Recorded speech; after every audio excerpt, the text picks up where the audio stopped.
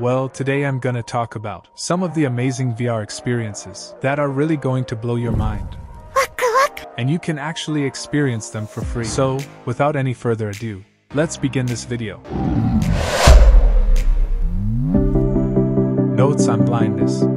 This VR experience lets you feel what it's like to be blind. It's based on the real life story of John Hull, who lost his sight. To cope, he records his thoughts and feelings on audio tapes. These recordings are integrated into the VR experience to show what he went through. It gives you a unique perspective on blindness. It's available for free on the Quest Store, so I highly recommend you check it out.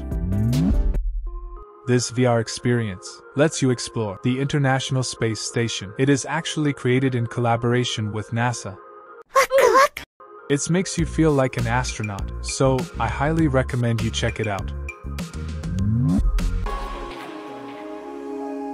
This VR experience takes you back to the time of World War II, allowing you to explore the secret annex where Anna Frank and her family hide during war. This immersive experience lets you feel what they went through during those difficult times. You can also interact with objects and see Anna's famous diary.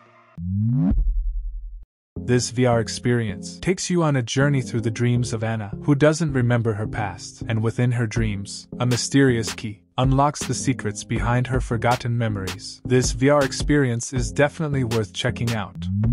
Ecosphere. This is a VR nature documentary series that takes you to some of the wildest places on Earth. You can explore different parts of the world in an immersive way, making you feel like you are actually there. Eric, what the heck are you? So, I highly recommend check it out.